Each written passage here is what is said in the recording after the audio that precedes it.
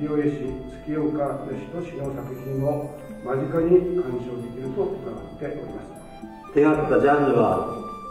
武者絵のほか役者絵美人画機械絵など多岐にわたり弘前の伝統文化であるねぷた絵も大きな影響を受けたとも言われており赤い染料を多用し華やかで鮮烈な印象を与える義俊の作品は現代の私たちをも魅了するものであります。はいどうぞ。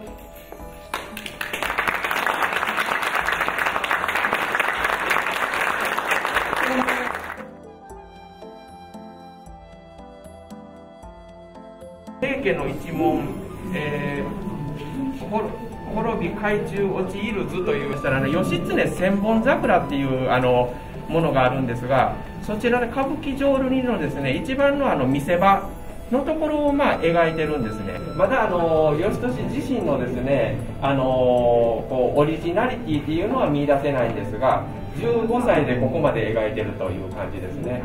ちょっとこちら刺激の多い作品がありましてあのお子様などはとあの刺激が強いと思うのであのお子様などはちょっとしばらくこちらをご観覧いただきたいと思います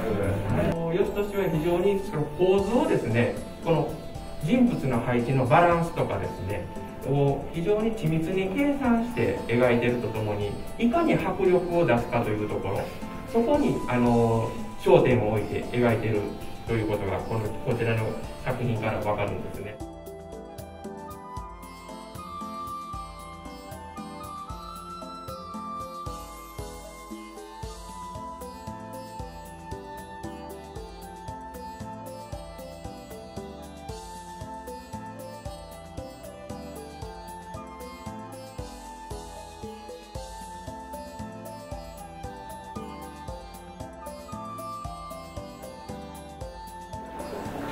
分が持ってた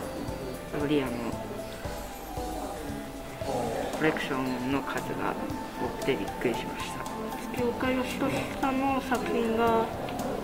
いろいろ、いろいろな種類があって